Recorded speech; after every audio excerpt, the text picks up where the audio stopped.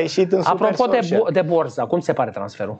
Un transfer care s-a lucrat la el în ultimele 10 zile, un transfer bun uh, pentru Rapid, nu numai prin uh, prisma faptului că jucătorul uh, corespunde, se încadrează în regula Under 21, este un lider de generație, este un jucător care nu are nevoie de o carte mai bună de vizită prin simplu fapt că el a jucat titular la echipa campioană a României în sezonul trecut, Uh, un jucător crescut în Academia lui, uh, lui Gică Hagi, uh, un jucător care, așa cum uh, i s-a promis domnului Bergodi la întâlnirea de săptămâna trecută cu acționarii și cu președintele Nicolae, uh, va conducerea va face totul pentru a-i mai Aia aduce doi jucători Da. solicitați de Mai către e și dânsul. Băluță în discuții, nu? Nu numai Băluță. Nu numai Nu Băluță? numai Băluță. Băluță este o variantă... Și ce mai e uh, tot de, în, în afară de Băluța? mai, Inte- mai sunt doi jucători care nu sunt români.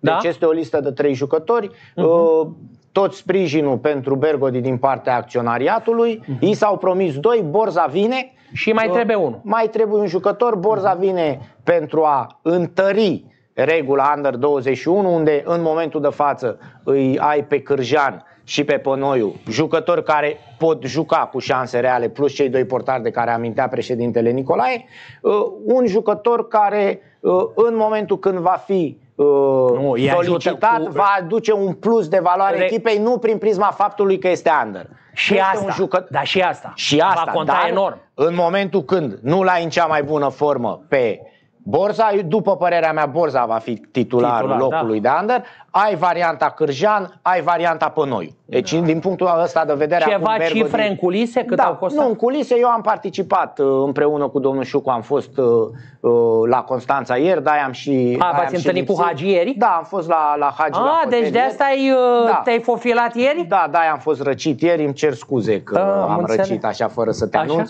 Uh, am fost, uh, chiar dacă lucrăm împreună și tu mi-ai încredințat și un alt proiect, mi s-a părut corect și profesionist să nu vorbesc doar Să cu te tine. dai răcit. Nu, să nu vorbesc doar cu tine. Horia, consider că așa este normal. Uh, Trebuie să o anunțe clubul, în primul rând, și uh, chiar dacă noi avem o relație de colaborare și prietenie, nu mi se pare normal să apară doar într-unul. Să plătesc bani mulți și este, dacă vrei, mândria clubului în momentul când plătești o sumă să fie clubul oficial cel care anunță. Borza a venit aseară la București, în momentul de față efectuează vizita medicală, va fi, dacă totul Am va o fi ok. singură, o singură Da. întrebare. Ai idee, asta poți, asta e de culise. Da. Nu vor, ai idee ce clauză i s-a pus? De reziliere? De reziliere? Da. O știe Giovanni Becali foarte bine, eu pot să vă spun că în primul an nu există clauză, Da? iar după aceea se vorbește de peste 2 milioane. Da. Jucătorul deci, va co- semna un contract pe 4 ani de zile, Mhm. suma uh, suma este de 800 de mii Mhm. pentru Farul Constanța plus 10% procente dintr-un eventual transfer, Mhm. uh, iar valoarea totală a tranzacției ajunge undeva în jurul valorii de 1 milion, puțin sub un milion, cu tot ceea ce înseamnă acest transfer. Aici ne referim la efort costurile financiar al lui Șucu și un Angelescu. efort financiar pentru România important. Și iată că uh, nu faptul că am călătorit ieri cu domnul Șucu și am participat la, uh, la negocieri, uh, omul își ține promisiunile făcute și la începutul campaniei de transferări și săptămâna, acum o săptămână uh, când a avut discuția cu Bergodi, promițându-i că îl va susține în continuare și uh, va face două transferuri. Unul este făcut Nu, dar mai mult. chiar, chiar am văzut că Șucu e serios, da? Șucu... Dovedește prin ceea ce face. Nu iese, nu răspunde, nu comentează, vine după un... transferul ăsta să ne înțelegem, să făcea oricum. Mm-hmm. Adică transferul ăsta n-a depins de eșecul cu petrolul.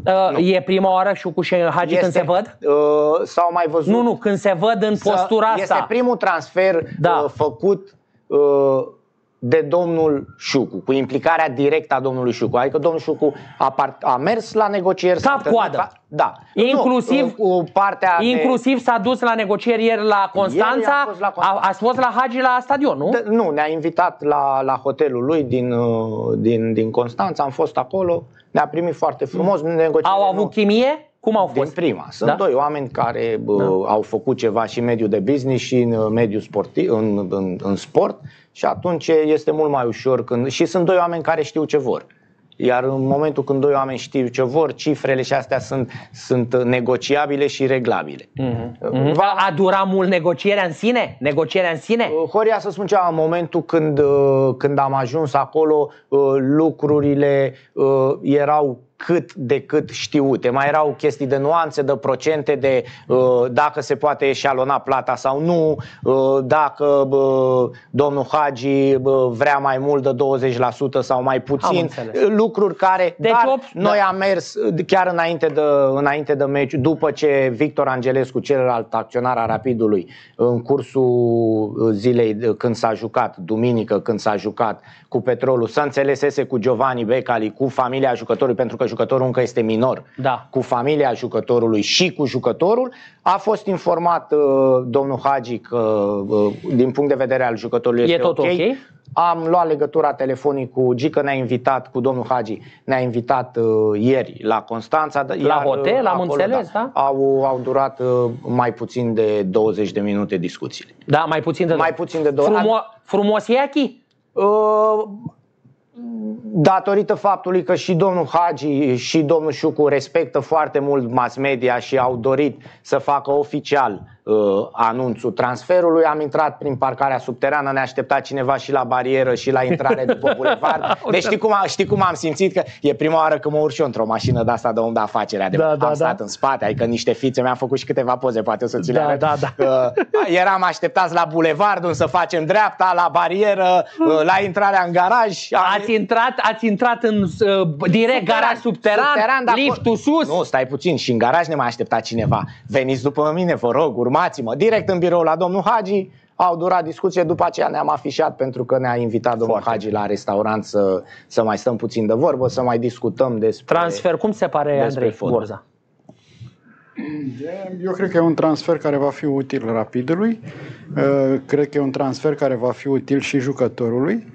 Uh, E mm, un fotbalist de echipă națională și atunci mm, cred că reflectorul va fi și mai mult pus pe el pentru, pentru a-i vedea uh, evoluția. Cred uh, în același timp că se creează o concurență pentru postul de under, uh, pentru că mm, așa la ce am văzut eu în primele etape, faptul că erau doar doi jucători under Era o problemă. E o problemă și la modul concurențial, pur și simplu. Acum, de, venind al treilea și cu statut, cred, cred că vine cu un statut de jucător titular din foarte multe puncte de vedere, și cred, al lucrul ăsta. CV îmi cer scuze că te întrerup. Și din punct de vedere al CV-ului vine titularul postului respectiv de la campioana României. Asta este un, un aspect, dar sunt mai multe aspecte. Nu în ultimul rând mă gândesc că Bergodi, la tot ceea ce a făcut bun la Sepsi, a făcut folosind jucători under fundașul În stâng. banda deci el stângă. avea doi jucători under acolo, pe Dumitrescu și pe Ispas. Uh, Acolo era postul acoperit și de asta spun că uh, pentru Cârjean și pentru Pănoiu E o concurență va serioasă. fi un challenge puternic acum pentru a-și câștiga locul de titular. În Și momentul- locul în lot, Andrei, unul dintre ei. Că poate, să, poate vor fi meciuri când amândoi Eu Andrei mi-aș nu dori vor să fi fie pe bancă. amândoi în lot și să nu fie alții pe un lot pe acolo care... nu cred că merită, sincer să fiu, dar mă rog, asta... Uh, Într-o emisiune viitoare vom detalia, ca să zic așa. Da?